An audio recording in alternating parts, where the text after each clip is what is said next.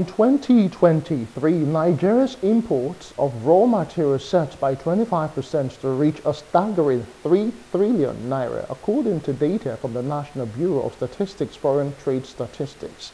Now, the major imported raw materials included cane sugar, other lubricating oils for further mixing, milk preparations containing vegetable fat and oils, mixtures of odoriferous substances, and sheet for veneering, among others. However, during the same period, Nigeria's raw materials exports were valued at only 1.8 trillion naira, resulting in a substantial 3.6 trillion naira trade deficit. I'm now being joined by the national president and founder of the Association of Micro Entrepreneurs of Nigeria, Amen, Prince Xavier Iche, to discuss this issue further. Many thanks for joining us, Prince Iche. Thank you for having me. All right, let's just uh, see what the issues really are. With inflation staggering at about 33.95%, um, what's the situation with uh, small entrepreneurs in terms of, um, you know, getting uh, raw materials for their production? What's the situation like? Um, the situation is very alarming.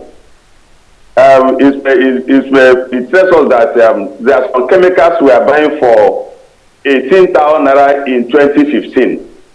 Today, the same chemi chemical is at 148,000. Hmm. There are some chemicals we are buying for 18,000 naira in 2015. Now it's almost 500,000. So what it means is um, the situation is, get, is going out of hand on daily basis. On daily basis, instead of things getting better, it's getting worse. That is why we have so many inflations in the market.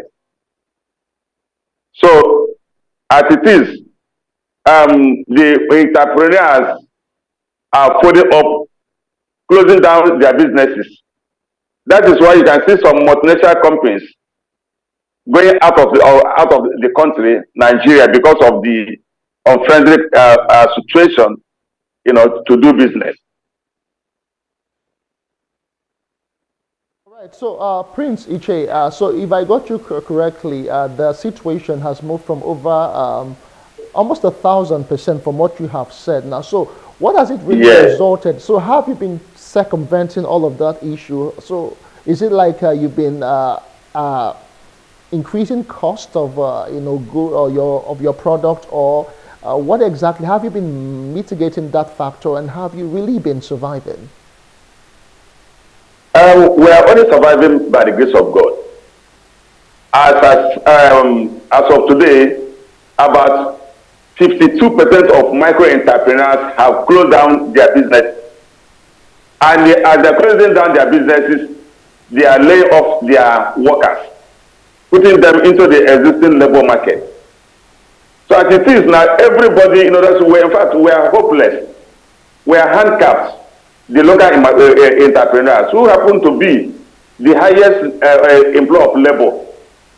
All right, and it's unfortunate that as government have not, you know, um, listened to our our cry all, all, all these years. Coming to the issue of power, we we provide alternative power by ourselves. In fact, the few micro entrepreneurs that are still remaining medically, we are on, we on coma. And when you classify someone that is on coma medically, there is 50-50 chances of, of, surviving. So this time around, we are really need government uh, uh, support. So as it is now, you have an association called um, the Association of Micro and um, Entrepreneurs of Nigeria, Amen. So as an as association, how have you been able to put your voices together, uh, maybe to reach out to the right sources in terms of uh, uh, regulation and all of that so that uh, there will be some sort of um, leeway for small businesses to thrive in the country? When we have uh, engaged them through social media, we have written a series of protest letters, and uh, up to today, they don't even attend to our, our, our letters. Right? We don't even tell the, the so far, you were trying to explain uh, now, some of these are raw materials that have really gone high over time. Can you just um, break them down to us, please? Prince Iche, can you hear us? Yeah, thank you. Yeah, go ahead, please. I can hear you. I can hear you. Yeah. um, as I was saying, presently, the situation of things in the country is really getting out of hand.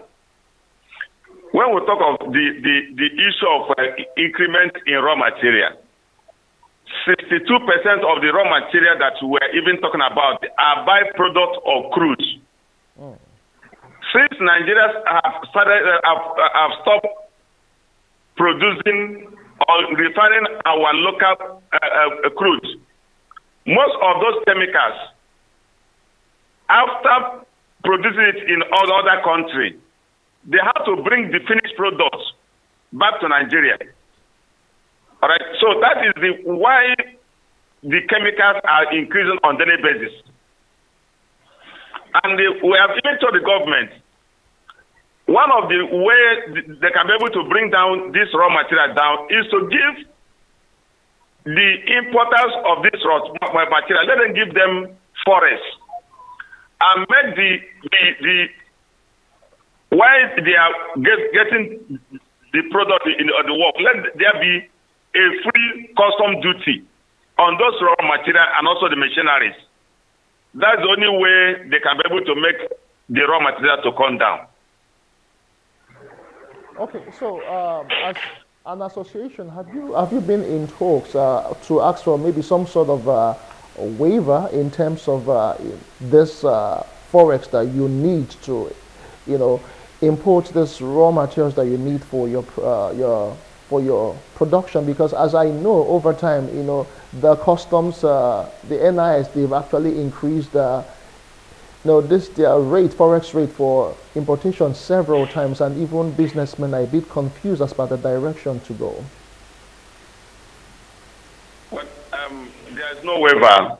The government is a, the government does not have any special interest in the in this sector. Because if they do, most of the our, our outcry, most of our letters, they could have listened and attend to our our inspirations.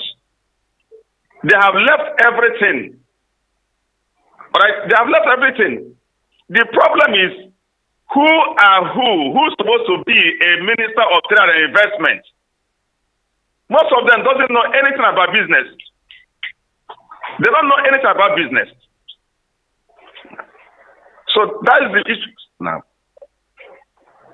All right. Aside from the forex issue that uh, you've talked about, let's look at some of um, other issues that are affecting, you know, the growth of small businesses. Over time, we've talked about funding and uh, multiple taxation. What's the situation as it is right now?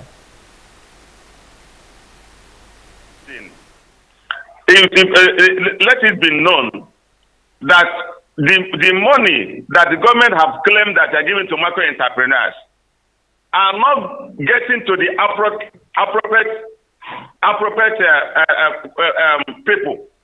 As we have ghost entrepreneurs, likewise we have uh, uh, um, um, as we have ghost workers. That's how we also have ghost entrepreneurs. The billions of naira that government are claiming they are giving to, to, to micro entrepreneurs are not getting to people like us. And what's the situation with multiple taxation as we round off now?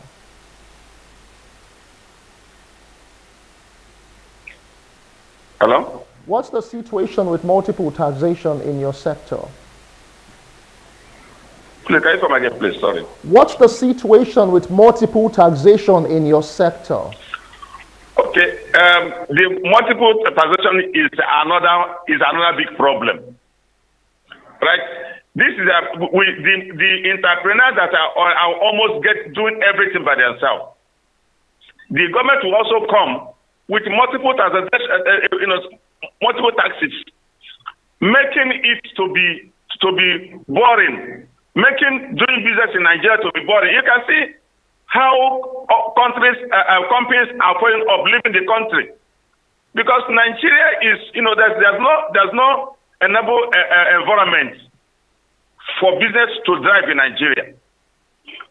We're using this opportunity to call on, on, on, on the federal government to look into this uh, sector, give it a proper attention, bring somebody that are, are, are business oriented to manage minister, uh, uh, um, the ministry. But as somebody that has done business and know what it means when we are complaining there's, there's, there's cost of chemical, when we are complaining that there's no, there's, there's no power, we need somebody like that who can be able to hear the cry when we are crying. All right, uh, we just hope that um, the government and uh, the people in authorities uh, will be able to tackle all of these issues in the board because we need to promote you know, the small business SMEs in the country because they are the backbone of the nation's economy. I have been speaking with uh, Prince Xavier Iche. He's the national president of the Association of Micro Entrepreneurs of Nigeria. Amen. Many thanks for being a part of the show, Prince Iche. Thank you for joining me. Thank you for having me. All right, thank you so much. And that's the size of the show for today. My name is Justin Akadoni. Many thanks for being there.